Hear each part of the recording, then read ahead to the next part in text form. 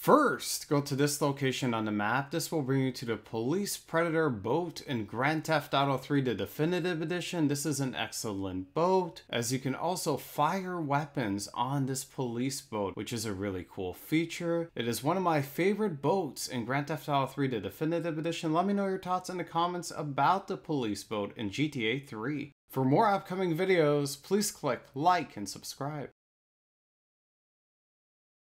Thank you for watching.